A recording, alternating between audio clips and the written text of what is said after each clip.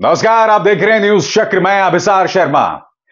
वो नहीं चाहते कि तू खबर की तह तक पहुँच क्योंकि खबरों की इन्हीं गहराइयों में छिपा है राजनीति का असली खेल। न्यूज़ चक्र खबर की गहराइयों को टटोलता।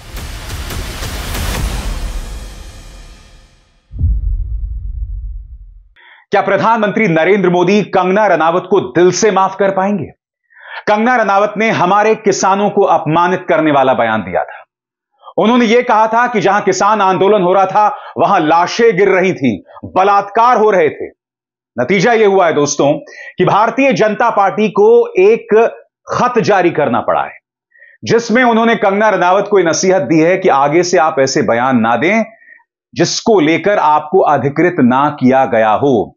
भारतीय जनता पार्टी इस अनसाइंड खत में बयान में यह भी कहती है कि हम कंगना रनावत के बयान से इत्तेफाक नहीं रखते। सबसे पहली बात जो मैं आपके सामने रखना चाहता हूँ यह जो खत भारतीय जनता पार्टी ने जारी किया है, इसमें जेपी नड्डा के दस्तखत क्यों नहीं है? भाई, कंगना रनावत हमारे किसानों का अपमान कर रही हैं। ज़ाहिर सी बात है, पार्टी के किसी बड़े नेता को दस्तखत करके बयान जारी करना चाहिए था। मगर आप ये कोरा सा बयान जारी कर देते हैं जिसमें किसी का दस्तखत नहीं है। भारतीय जनता पार्टी ऐसा क्यों कर रही मैं आपको बताता हूँ। क्योंकि हरियाणा में चुनाव होने वाले हैं। तमाम प्री पोल सर्वेस बता रहे हैं कि भाजपा की हालत पतली है। कांग्रेस सिर्फ़ एक सूरत में चुनाव हार सकती है, वो है पार्टी के अंदर जो सिर्फ़ टब्बल चलती है, पार्टी के अंदर हर कोई व्यक्ति जो मुख्यमंत्री बनना चाहता है। सिर्फ़ ये एक वजह हो सकती है कांग्रेस की हारने की। वरना यह माना जा रहा है कि हरियाणा में कांग्रेस वापसी कर रही है और ऐसे दौर में कंगना रनावत का यह बयान सामने उभर कर आता है।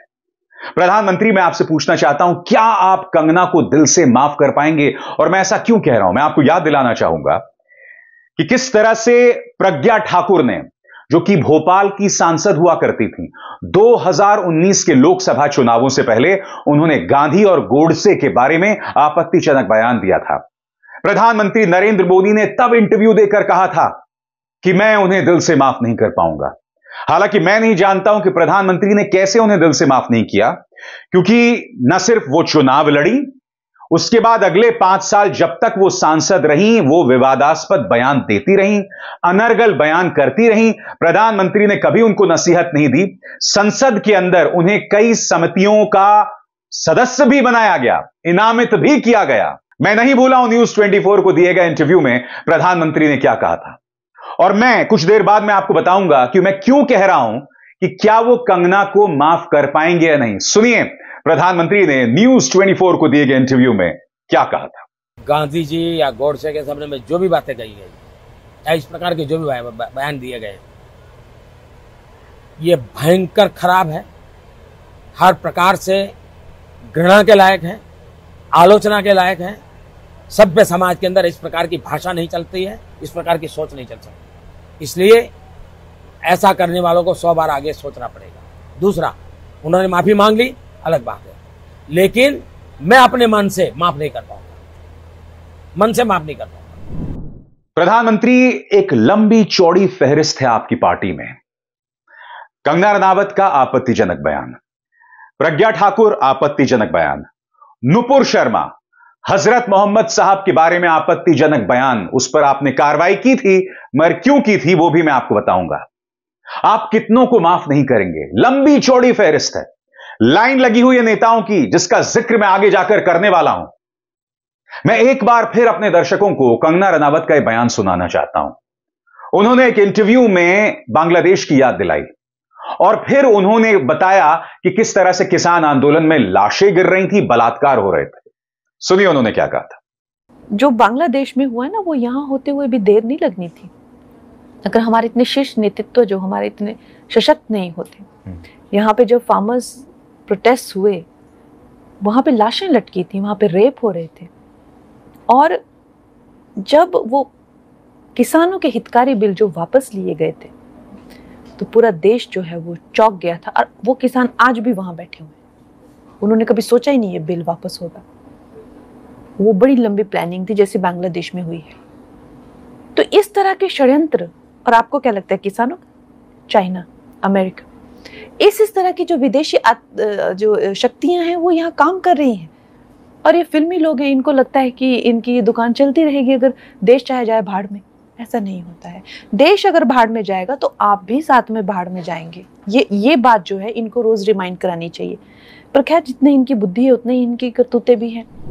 जब कंगना रनावत के बारे में भारतीय जनता पार्टी ये बयान जारी करता है तो मैं याद दिलाना चाहूँगा, जब किसान आंदोलन हो रहा था तब पूरा गोदी मीडिया पहले दिन से किसान सिंघू और टीकरी बॉर्डर पहुँचा भी नहीं था तो यह कहने लगी थी कि इस आंदोलन के पीछे खालिस्तानियों का हाथ है। किसान पहुँचे भी नहीं थे और बात वहाँ नहीं रुकती है। सुप्रीम कोर्ट में दिए गए एफिडेविट में भाजपा सरकार ने, मोदी सरकार ने कहा था कि इस आंदोलन में खालिस्तानियों का प्रवेश हो गया है। जो नेता किसानों से संवाद कर रहे थे, मसलन पीयूष गोयल, रविशंकर प्रसाद, वो लगातार कह रहे थे कि इस आंदोलन के पीछे अरबन नक्सल हैं। क्या भारतीय जनता पार्टी आज इन नेताओं को डांट लगाएगी? इनके बारे में भी बयान जारी करेगी, जैसा कि उन्होंने कंगना रनावत के बारे में बयान जारी किया है। कंगना को आपने मंडी से टिकट दिया है और उनका एक लंबा चौड़ा इतिहास है। यह मत भूलिए कि उन्होंने किसान आंदोलन के दौरान क्या क्या बयान नहीं दिए थे। उन्होंने ऑपरेशन ब्लू स्टार की याद दिलाई थी किसानों को। उन्होंने यह तक कहा था कि प्रधानमंत्री नरेंद्र मोदी को 2002 वाला रौद्र रूप दिखाना चाहिए, जब गुजरात में दंगे हुए थे। बावजूद उसके भारतीय जनता पार्टी ने कंगना को मंडी से टिकट दिया। इनका पूरा इतिहास है अनर्गल बयान देने की प्रधानमंत्री, ऐसे में क्या आप कंगना को दिल से माफ़ कर पाएँगे? और सबसे बड़ी बात, प्रधानमंत्री, आपको अपने इस अपरिपक्व सांसद, इस इमेच्योर सांसद कंगना रनावत पर लगाम लगानी पड़ेगी। कंगना जो लगातार इस तरह के भड़काऊ बयान दे रही हैं, अपने लिए समस्या पैदा कर रही हैं। आपको याद है किस तरह से एक एयरपोर्ट में कुलविंदर नाम की इस पैरामिलिट्री फोर्सेस की जवान ने एक थप्पड़ मारा था कंगना रनावत को? मैं सोशल मीडिया में कंगना के खिलाफ कई ऐसे भड़काऊ बयान देख रहा हूँ। कंगना अपनी सुरक्षा के लिए दिक्कत पैदा कर रही हैं। प्रधानमंत्री, बुलाइए इस इमेच्योर सांसद को। कहिए कि अगर आप इस तरह के बयान देती रहेंगी तो अपनी सुरक्षा के लिए दिक्कत पैदा करेंगी। कंगना करना क्या चाहती हैं? मैं समझ सकता हूँ यह मंडी की बदनसीबी है यह इस देश की बदनसीबी है कि इतनी इमेच्योर इस तरह के भड़काऊ बयान देने वाली एक एक्ट्रेस इस देश की सांसद बनी है। मगर सबसे बड़ी बात, आप ये जो बयान देती हैं, जो भड़काऊ बयान देती हैं, जो अपमान करती हैं, चाहे किसानों का हो, चाहे माइनॉरिटीज का हो, आप अपनी सुरक्षा के लिए दिक्कतें पैदा कर रही हैं। प्रधानमंत्री बुलाइए, और मुझे लगता है कि आपको सार्वजनिक तौर पर एक बयान देना चाहिए। इस बयान के दो मकसद होंगे। सबसे पहली बात कंगना को नसीहत कि आगे से इस तरह के बयान ना दें। और दूसरी बात, आपको यह अपील करनी पड़ेगी कि कंगना के खिलाफ भी भड़काऊ बयानात ना दिए जाएँ। मेरा यह मानना है दोस्तों कि हिंसा किसी भी सूरत में समाधान नहीं हो सकता। चाहे कोई जैसा भी बयान दे, कोई कैसा भी बयान दे, समाधान सिर्फ़ कानून के अंतर्गत है। अगर कंगना कुछ भड़काऊ बातें कर रही हैं तो जाइए अदालत के दरवाजे खटखटाइए, पुलिस स्टेशन जाइए। उसके तहत उसका समाधान है और उसके अलावा कुछ नहीं। इसीलिए कंगना जी, यहाँ ज़ोर डालिए। मैं नहीं जानता हूँ कि आप इसका कितना इस्तेमाल करती हैं, खासकर वो महिला जो लगातार भड़काऊ बयान देती हैं। आप इस तरह के बयान देकर अपने लिए मुश्किल पैदा कर रही हैं, अपनी सुरक्षा पर आप दिक्कत पेश कर रही हैं। पूरी पार्टी में ऐसे लोग भरे पड़े हैं। भारतीय जनता पार्टी और उसके नेताओं ने मानो, इस देश की संवेदनाओं सेंसिबिलिटीज के खिलाफ युद्ध छेड़ रखा है। उनका एक एक नेता, और हर नेता को यह लगता है कि मुझे अपना वजूद बनाए रखने के लिए विवादास्पद, जहरीले माइनॉरिटीज के खिलाफ बयान देने चाहिए। और ये बयान संसद के अंदर होते हैं। आपके स्क्रीन पर यह है टी राजा सिंह, इस व्यक्ति को बुलाया गया और फिर यह महाराष्ट्र की गली गली घूमकर माँ की गालियाँ दे रहा था, मुसलमानों को गालियाँ दे रहा था, लगातार दे रहा था। महाराष्ट्र जो कि देश की व्यावसायिक नब्ज है, वहाँ पर यह व्यक्ति जहर उगल रहा था, लगातार उगल रहा था। प्रधानमंत्री, क्या आपने टी राजा सिंह को दिल से माफ़ किया? बताइए यह सवाल पूछा जाएगा प्रधानमंत्री आपसे। टी राजा सिंह को आखिर किसने अनुमति दी थी कि महाराष्ट्र में गली गली घूमकर यह जहर उगले? किसने अनुमति दी थी? और यह सब हो रहा था लोकसभा चुनाव से पहले। बावजूद इसके आप चुनाव हार गए। यानी कि भड़काऊ बयान देने का कोई फ़ायदा भाजपा को नहीं हुआ, जबकि आपका मुकाबला एक ऐसी उद्धव सेना के साथ था जो दो फाड़ हो चुकी थी। जिसके चुनावी चिन्ह को लेकर जनता में असमंजस था। आपका मुकाबला एक ऐसी एनसीपी के साथ था जो दो फाड़ हो चुकी थी। आपका मुकाबला एक ऐसी कांग्रेस के साथ था जो कमज़ोर थी। बावजूद उसके गठबंधन को, एमवीए को महाराष्ट्र में आपसे ज़्यादा सीटें मिली। मतलब क्या है? आपने भड़काऊ बयान दिए। खुद प्रधानमंत्री नरेंद्र मोदी ने कांग्रेस के घोषणा पत्र के बारे में भ्रामक बयान दिए, सांप्रदायिक बयान दिए ये तक कहा कि मुसलमान घुसपैठिए हैं, ज़्यादा बच्चा पैदा करने वाले हैं, फिर भी जनता ने आपको बहुमत से 32 सीटें दूर रखा। सबसे बड़ी बात, उत्तर प्रदेश, जहाँ पर आपने राम के नाम पर राजनीति की, उसने भी अखिलेश के गठबंधन को 43 सीटें दी। मतलब साफ़ है मोदी जी, ये भड़काऊ बयान अब काम नहीं आएँगे। क्या आप नसीहत देंगे गिरिराज सिंह को, जिन्होंने यह तक कह दिया कि विभाजन के दौरान एक बहुत बड़ी गलती हो गई। सभी मुसलमानों को पाकिस्तान में भेज देना चाहिए था। आपके ये सांसद हुआ करते थे, रमेश बुधुड़ी, आपको याद है? संसद के अंदर इन्होंने कितना शर्मनाक बयान दिया था। क्या आपने इन्हें बुलाया था? इन्हें नसीहत दी थी? क्या आपने रमेश बिधुड़ी को दिल से माफ़ किया था या नहीं किया था? बताइए प्रधानमंत्री, फिर से सुनिए। मेरा मन नहीं था सुनाने का, मगर प्रधानमंत्री, सुनिए इन बयान को। और बताइए कि क्या आप रमेश बिधुड़ी को दिल से माफ़ कर पाएँगे? सुनिए। क्यों ले रहे हैं? मोदी साहब सिरे नहीं ले रहे हैं? सिरे ले रहे हैं? देश के वैज्ञानिक। सिरे ले रहे हैं? बोलने नहीं दूँगा कभी खड़ा होगा। ये बता रहा हूँ। सर ये जो श्रेय अगर जाता है तो देश के प्रधानमंत्री को जाता है। जी प्लीज़ सर अभी मैं बताना चाहता हूँ। अधीर रंजन जी अधीर रंजन जी अभी शोर मचा रहे थे लिस्ट पढ़ रहे थे। उस लिस्ट में अधीर रंजन जी जब लिस्ट पढ़ रहे थे उन्नीस सौ पिछहत्तर से लेकर अभी तक। इसकी बात जी बाहर देखो। wrong, अभी रोज पढ़ रहे थे। सर इसरो ने. दो हज़ार उन्नीस सौ any- बावन विदेशी ज़मीन में जाकर पोलैंड में जाकर आप कहते हैं कि हमारा विश्वास सबका साथ सबका विकास। वसुदैव कुटुंबकम में है। मगर बंगाल के अंदर आपका जो मुख्यमंत्री का चेहरा है सुवेंदु अधिकारी वो ये कहते हैं कि मेरा सबका साथ सबका विकास में विश्वास नहीं है। वो किसी और को नहीं आपको अपमानित कर रहा है क्योंकि आप ये दावा करते हैं।